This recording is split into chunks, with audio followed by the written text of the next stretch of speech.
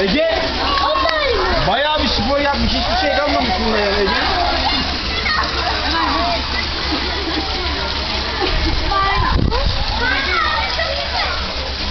Bye.